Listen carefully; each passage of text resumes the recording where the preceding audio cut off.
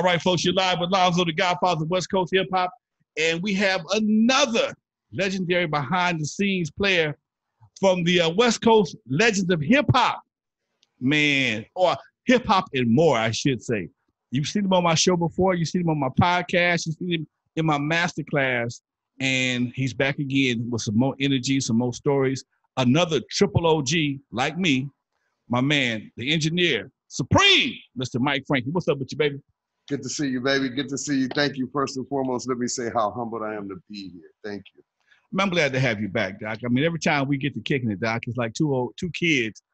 We don't see we so old. We understand each other. Okay, we can talk the same don't. language because we've been around the same length of time, pretty really much. don't. Dealing with the same Same kind of situation. same people. Exactly. So when we kick it, this is a whole nother energy. And man, uh, last week you were the guest on my music masterclass, and you said something I, I wasn't aware of. Maybe I was aware of, but I forgot that you were the engineer and one of the driving forces behind the uh, the um, uh, album "Banging on Wax." You said some things in the in the uh, masterclass that was so prolific. I had to bring you back on the show today. Just talk about some of the things that you experienced putting that album together, man. Okay. Um, first of all, the person who wa- was paying for the record was named Ronnie, um, Ronnie Phillips. And Ronnie had a best friend, a really close friend named Tweedy Bird Loco. Okay. Tweedy Bird Loco was from Kelly Park in Compton. Okay. He was neighbors with Dre and Eazy and them cats. And Ronnie was doing a record on a kid named D, and D was a Muslim.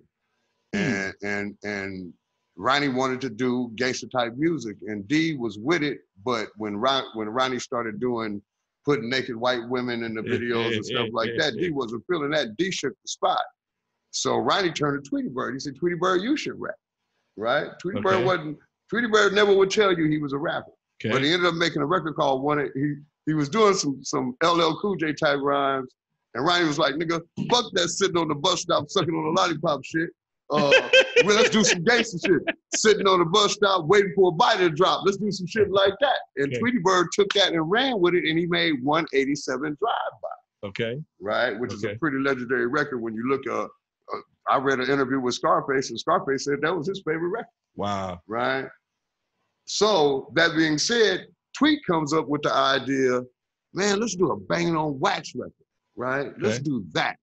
And Ronnie was like, you know what? That ain't a bad idea, Mm. right? So the whole concept came from Tweedy's Tweedy's Tweedy's brain, and he was actually the catalyst for bringing a lot of the hoods there. Okay. Tweet was Tweet Okay. was the man. Okay. Whether whether he got cre- properly credited or not, it's not the issue. I'm telling you, it was all came out of Tweet's brain. Okay. Because I was working with Ronnie before everybody, Okay. right? What was you doing for Ronnie back then? Engineering, Okay. right? Um, working with him actually. Um, so we get to we do this record at Leon Haywood's joint on Crenshaw and Rodeo, which was called actually people called it Evejim because that was the name of Leon's label, but the actual name of the recording school recording studio was um, Sunnyside. Funny side. Okay. Right, it is now a Korean hair store. All right. sadly speaking. Um, so motherfucker. Anyway, go ahead. first day of the session, I'm there, like I'm because I'm the engineer, I'm always there first. I'm there and a gang of bloods come in there, like a gang of red rags. It was a stretch from Bounty Hunters, Big Y from Inglewood, uh, uh, from family, Crenshaw Mafia niggas, um, the homies from uh, the Southsiders from Compton. Um, it was just a gang of cats, some cats from Piru, with no Crips, Okay. no Crips. Uh-huh. and the first cat that was representing the Crip side that came in the door was Domino, Okay. right? But you got to understand, some of these cats weren't really active gang members. What you mean? Most of them were, okay. right? Okay. But it was a couple of cats that Ronnie chose just because they had good rhyming skills. Okay. right? And they became guilty by association, for lack of a better word. Okay. Right. Uh, my girl Nene. Uh, what was Nene's name? Nene X. But she was Bloody Mary on Mm. this album, right? On the album that we're referring to. Okay. She wasn't an active gang member. She ended up being one though, wow. right? From the experience, she ended up, she, you know, she chose a side, right? Okay. Um, so it was a lot of people. It was a lot of people that were really active gang members, and it was a couple that weren't, right? Uh, when David, I think, I think, if I'm not mistaken, I could be wrong with this, but I'm, I'm thinking Tweedy called Cluso, and Cluso bought Battle Cat Mm. to the table. Uh, I, but like, like that was '92, man. That was a lot of weed and a lot of beer ago. You know what I'm saying? And uh, So how was the vibe, man? the vibe was really cool. It was some tension at first, Okay. right? But everybody knew what the agenda was, Okay. and everybody acted cool. There were no altercations on that first record that I know of because I left the record kind of early. Um, there was a, a situation. It got kind of tense. Like one time, the one thing about that record what was really great was that it was some classic bagging sessions. Okay. Like it was jokes, jokes, jokes, jokes, jokes, right? And sometimes them jokes hit home, you know. And and uh, I told uh, Stretch from Bounty Hunters, uh, I told Stretch we, we got to one of them little bagging sessions. I said, nigga, you can't rap gifts, nigga. And he got hot, right? And he pulled a pistol on me. what? Yeah, the pistol was about this big, Okay. but it had a clip. Like he said, "Nigga, you better be glad I'm trying to rap, nigga, because I'm a real gangster, nigga, and I'll kick your door in and whoop, whoop, whoop, whoop, whoop." And I looked at that nigga. I said, "Man, I can't even get you to give me a ride home because you asked me where I live. I told you where I live. You said, shit, I ain't going over there. So miss me. We just put the pistol away and shit, right? That nigga owe me a hundred dollars too. Stretch. I need that hundred bucks. Um, I, I hit him for a hundred bucks in crap game, oh no shit. but it was Ronnie's money." okay. and Jay Shanklin interceded, one of the producers. So it was on, when the record first started, the producing staff basically was Cat, Jay Shanklin, Geek and Noise from Fly Deuce, from Fly Deuce Billing, um, Clouseau, um, Box. Um, this is all very long ago though, man. Y'all gotta work with me. Um, one thing that I that that that struck me about this particular situation was I remember when we first fired up the mic, and it was Stretch and Little Joe from from Compton, from South. I think it was from South Side. Okay. Right from from from over there, and they went to banging, and I stopped the tape, So I stopped the tape, and I looked at Ronnie, and I said, Ronnie, do we really want this, man? I said, we should do this. We should approach this a little differently, Hmm. right? As opposed to them banging on each other like that we should be talking about why this happened and what we can do to prevent it from occurring again. But it went straight head to head violence, and I knew then that shit was headed for a fucking disaster, Hmm. right? And I carry a burden of guilt for this record. Me and OG Sinloke was talking about this too, because Sin was there. Sin was one of the first Crips to walk in the door, and uh, with the Freddy Krueger mask and shit, and that nigga scared the shit out of me. And I'm from the streets. I was like, I don't want to fuck with that nigga right there right? So, but me and Sin was just talking about this, and uh, we carry a burden of guilt for that record, dude. What do you mean burden of guilt? Well, before we did that record, there were no Bloods in Tennessee or no Crips in Philly. It was no Bloods in New York, no Crips in Detroit. That didn't exist. Mm. When we did that record, that record was so hot, it took gangbanging global. Mm. right? We started getting red, we started getting fan mail from Brussels, from from European dudes, white cats. Like, I'm down with the Crips, I'm down with the Bloods. It was that influential. They did the Maury show, right? Oh no shit. Yes, yes. Um, I was supposed to go, but I didn't really. I, I had mixed emotions about being a part of that record. And once I did that record, by the way, it cost me a lot of high profile clients. No shit. Yes, it did. Like who? Um, I hate to mention names, but you know, I was working with some pretty influential people. Why do you think they stopped messing with you? because I, I was affiliated with niggas that was robbers and gangbangers. Mm. Now, you know, they assume, but always been these niggas that they was scared of, but I just never was like that with Okay. them. And when I did that record, I stopped getting them calls. No shit. No Did shit. it ever did it ever come back around or did just yeah, it came back around to me like I was like I, I ran into someone at an event and I was like, "Yo, you just cut me off, nigga. What's happening?" He said, "Man, you know, you kind of spooked us with that banging shit, mm. you know." And I was like, "I got it," you know. Wow, that, that's amazing, man, that they would trip like that.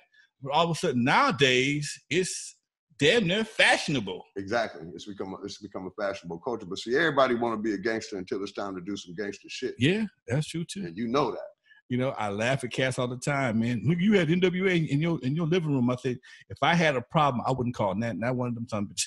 I wouldn't call none of them, bruh. Okay, I understood what I was working with. Okay, what it was. I Right. experienced that gang a, a gang uh, interaction back in Centennial, and it, was, it got real serious over some stupid shit. I, I got involved. I had two situations that that changed my life because I realized the shit that we fighting for it ain't worth dying or going to jail for. Okay, I'm not your dog. Wait, wait. One of, one of my situations was my partner's dog beat up a gangbanger's dog, and, and a dog fight. a dog fight. An actual Two dog dogs fight. fighting. Two dogs fighting. The gangbanger's dog got beat up by my partner's dog. But because my partner didn't go to the same high school as I did, It was they they knew we was partners. They was gonna jump on me. I went, they ain't my goddamn dog. Why am I in this shit? Okay. Why am I in this? It ain't my dog. Okay. Well, you was homeboy, and if you was homeboy, you huh? So I ended up, I ended up, my, now my homeboy being the kind of dude he was, he ended up going around the corner and he handled, he, he got it, he handled the dude, the dog gangbang. He actually won the fight, which actually made it worse exactly. because now you can't let got no civilians You- beat no gangbanger up. yeah, you got you got niggas on your bumper now. They on Now we, can. I can't go to the grocery store, man. I can't go to that. Th- This is see, you got to understand what what people don't understand is we are old enough to watch. We saw it begin. right, We right. saw it start, right. and we saw where it was going. Woo, You know, Woo. I remember when I was a kid, I, I was a dancer. That's how I actually got exposed to the business. And I was at a dance at the which is- which is now the Hilton on Century, but back then it was the LA International Hotel, Yeah. right? Yeah. I was at a dance and uh, I went in the bathroom and there was a brother about six eight, and he had a gash in his head that went from the back of his head to the front about this wide. And he was looking in the mirror and he said, "Cuz, don't go in the dark, right? Don't get caught in the dark." And I walked out of the bathroom and Tookie and Barefoot Pookie was out there terrorizing the crowd, right? And niggas had pistols and you know, and sawed-off shotguns and shit. You know, them niggas used to take a leather coat was a thing back Come in the man. day. You had Come a on. leather coat on, you know, you was a target. Dude, I got my coat taken. I but I, but I got it back though, Mike. you got it back. I, but understand this: the, the cat that jacked me for my coat it wasn't even my coat.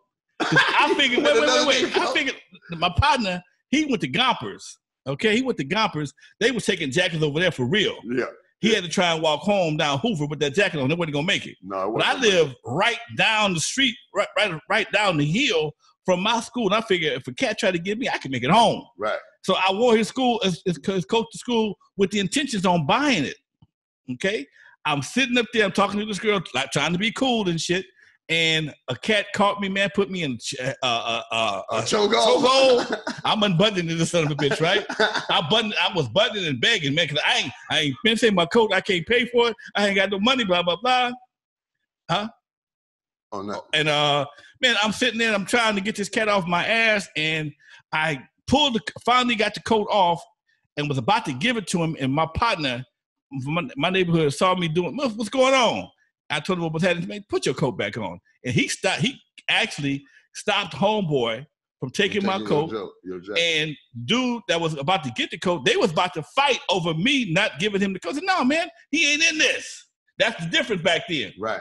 I was a civilian. Right. No, man, leave, leave him alone. That's my homeboy. Plus, right. his mama, I tell us all the time, his mama, his grandmama, and my mama went fishing every day together. There was nowhere in the world he could let me get my, my coat Right. taken. And go home. And he was and he was and he was a shot caller at school. right. He, it wasn't gonna happen. So he had to protect me. Plus, we was cool, Right. Right. but he had to look out for me, and he wouldn't let he wouldn't let us, the the other cat take my coat. But I never wore a leather jacket to school again. man, this is what's so cold, dude. I when I went to when after we did that record, because it was one of the hottest records that year. There was a show called The Box. You remember? I remember the box, yeah. right? And that year, that was the number one requested record on the box, Okay. right? And I went to Tennessee to make some records with some cats. And when I went to Tennessee, they was banging, Mm. right? And I had a cat run up on me and he was like, "Yeah, I'm from Piru." I said, "No, you're not, bro." I said, You're not from Piru, You're from Knoxville, Tennessee. You know, do you know Piru is a street? He didn't even know Piru was a fucking street. He I was in Detroit, nigga banged Hoover on me. He didn't even know Hoover was a street. Wow. Right? So that's how influential that record was, right? I went to I went to a store in a what town was I in? In Louisiana. I go to use a public telephone booth, and a nigga had Piru Love written on the phone booth. Mm. So that lets you know I'm talking about a, I'm in a hillbilly town. Right, right. Right. So that's how far reaching the tentacles of that record was. And I call them tentacles before because of reason.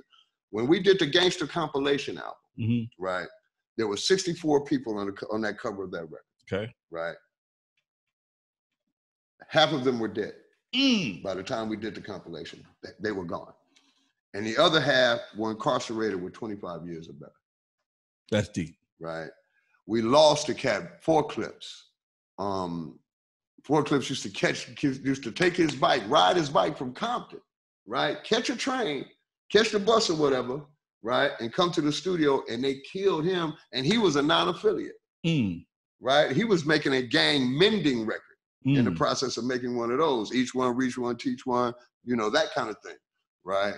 Um, so ironically, I take part in the first record, and I was doing the very last record that was going to be in the Bang and Wax series because Ronnie died in the process of making it. So nobody, everybody in that situation got messed up. Fucked over, fucked over. It was Right. no winners in that Nene, situation. Nene X ended up getting killed in, on a motorcycle in a motorcycle accident. I don't think Danny Girl was an active gang member, but she was the girl that represented the side of the blue. Okay. right? Um, but maybe she was. I don't know. I didn't try to know these motherfuckers like that because I got my own issues. Right. Right? right, right. these niggas is gangbangers, all right? now we had, I've been through that as a kid. You remember Rough, Tough, and Dangerous? You remember RTD, the bus yeah. line? Yeah. Man, I used to see niggas get mocked on the bus. Check this out. You remember Festival in Black? Yeah. At MacArthur Park? Yeah. I got a wild story for you. I'm a Go it. kid though, right? I'm like 13 or some shit. And uh, we sitting on the on the embankment by Sixth Street, and we rolling some weed and shit. And a brother come up and ask us for a cigarette. And I'm standing up. My two partners is sitting down. But when we left the East Side, they got on Ace Deuces, right? And they not gang members. Okay. But once again, this shit is not fashion. They got on Ace Deuces, blue leather jackets. You know what I'm saying? They look like Crips, right? We get to MacArthur Park, we rolling some weed. I'm standing up smoking a cigarette, and they sitting down on the hill. The weed is right here, right? Um, cat came up, he said, Let me get a cigarette, man. I said, No problem. I slide him a cigarette. He hit it. He said, You know what? You motherfuckers look like Crips. Right? I'm like, what? I'm a fucking kid, right? and I look up and we surrounded, right? And it's just them niggas from Denver Lanes, Hmm. right? Real rag rag niggas, right? And uh they snatched the, the beanies and ace deuces off these niggas' heads and threw them on the ground. It was like, what you want to do about it? And he looking at me. I was just standing there like this, like, say, I'm not dressed like that. So you ain't got no problem with me. And the nigga looked at me and said, you could have got fucked up with your hands in your pocket too, nigga. I'm the nigga that just gave you a cigarette partner. You know what I'm saying? Right? So the bottom line is they left us alone, right? They gave us a pass. Right. Now I'm mad, right? I'm mad at these, I'm mad at these niggas because I told them niggas don't dress like that before we leave the house, Okay. right? Now we on the bus going home. It's Crips on the bus from the front to the motherfucking back, right? Okay. and every nigga that get off the bus getting socked out. You Mm. know, when you go to the back door to get, oh, they they beating the dog shit out of nigga. I, I would have rolled that motherfucker to Compton. I wasn't getting off that motherfucker, right? Because there was a gang of them niggas. And once again, them leather coats. Right. It was so many niggas on the bus that I had to sit here and one nigga, the two, the, we had, we were separated. And the nigga leaned over to me so, and he looked at me and said, that's your partner. I said, yeah, man, we all together. He said, uh, he sure is wearing a nice jacket. I knew then what that business was. He said, I think I'm gonna have that before I get off the bus. And I looked at him and I didn't know what the fuck to say. You know, it wasn't my motherfucking jacket. you know what I'm saying? I told that nigga don't wear that bullshit. Right? So we had a blood issue at the park and a crip issue on the way to the house. God damn. now check this. day. Now check this. When we get to seventh and Broadway, the police mob the bus Mm. right? Took everybody took everybody out the bus that looked like a crip. Nigga, I'm looking out the window, right? I'm looking out the window, right? They didn't take me off the bus. They didn't take my boys off the bus. On the 95, on the Vernon bus, this this crip, this gangbanging shit was out of control. It was two cats coming from LA High. They wasn't gangbangers. One nigga was in ROTC, right? And the other nigga was just Harmless, mother. yeah, he was harmless, right? And the other nigga was harmless too, but he was hanging out the window, hollering, blood, Pueblo Bishop, all that kind of goofy shit. He was playing, but he didn't know what he was doing. When the bus got on Hooper, some niggas pulled up in a 64 Chevy and they heard the nigga hollering out, because he was only hollering when the bus would pull away, right? Right. They heard him. The motherfucker had a, you know, had hydraulics. So when the, the, the, the Chevy pulled in front of the bus and just laid down in front of the bus, the driver was stuck, right? Three or four niggas got out the Chevy and came on the bus, Mm. right? Just like a, just like a out of Compton. Straight up, just came right on the bus, Zoe, on my mama, came straight on the bus. and was like, where the Pueblo Bishops at? And the nigga who was doing all the hollering moved. He moved seats, right? Only the ROTC nigga was sitting there, right? and the nigga said, you the pa-, and slapped him. And slapped him like three times in a row. And he had a sister on the bus. And the sister jumped up and said, don't let him hit you like that, Stanley. And that nigga's homie fired on her and knocked her out, right? Okay. I'm, I'm sitting there like, wow, this is really fucking happening, right? I was a fucking kid. I ended up going to LA High, getting kicked out of Jeff, going to LA High, and some niggas surrounded me because I was on the east side. Mm. I wasn't even gang affiliated at that point, Right, right. right? I caught them niggas. I went home the next day because when I, I never checked in class at LA High, they, I was teachers thought I was in the girls' classes that I was fucking with. You know, I go, I just go to their classes, right? And uh, it's just some funny shit. So the girls was telling me, them niggas from schoolyard, they they own your bumper, right? And I'm like, okay, I got some of them. I go home get a pistol. When I come back, they try to surround me in the little lunch area. I draw down, they break, right? The next day, they called the police on me. Mm. I got expelled from all LA City schools Wow. for that fucking pistol. And then I got a gang affiliation on my jacket, on my juvenile jacket, because it was a gang incident, Mm. right? So a nigga ended up banging by proximity. oh, you By from. Avalon? Yeah, you. Where you from? Forty-seven. man. Oh, you was a crib. You from Fire Trade? You were this. You were that. You feel me? I went out and then see. Here's the thing.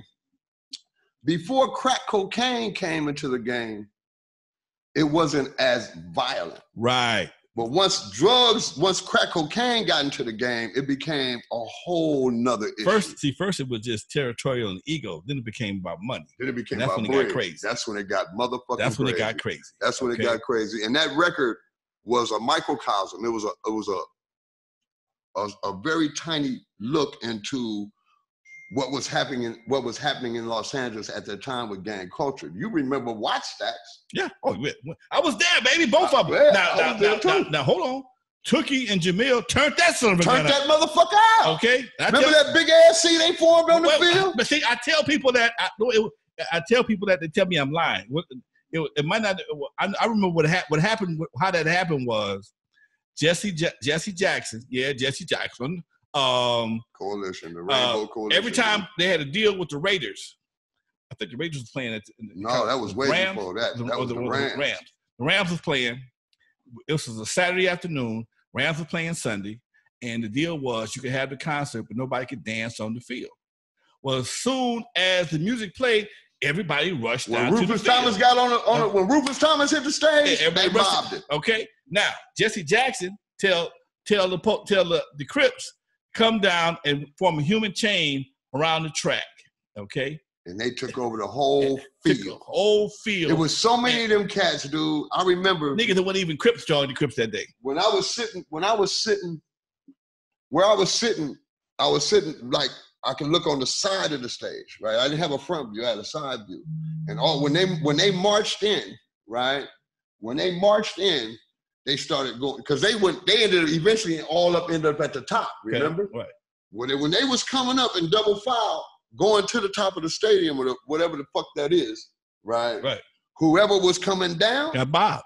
man, they threw one dude down. Man, it's amazing. But we didn't have the technology that we have now that, to record incidents. But I witnessed, we have witnessed so many incidents at high school dances, so many incidents at clubs, so many incidents where it just jump off. You know, right now it's happening like a motherfucker. I You saw know? a cat at the, at the, at the Wattstax. It was so bad at the Wattstax. They was it was a mob of cats. Guys was actually just volunteering to Crips for we Crips that day, just not to get jumped on. They wanted to be on the winning side because the Crips had the LAPD outnumber. LAPD put their hands up and just quit. Yeah, the Ham- Okay. LAPD backed away They, just, from they, it. they, was they, like, they we- went we- and set up behind oh, by the scoreboard and just kicked it. And you know what? You know what their attitude was? What? Let's let these niggas kill themselves.